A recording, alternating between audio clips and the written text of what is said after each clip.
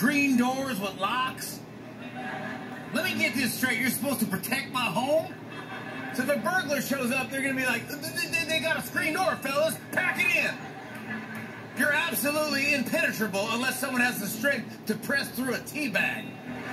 So reach in, finger flick that tiny little lock that doesn't do nothing, come on in, and then go get. it.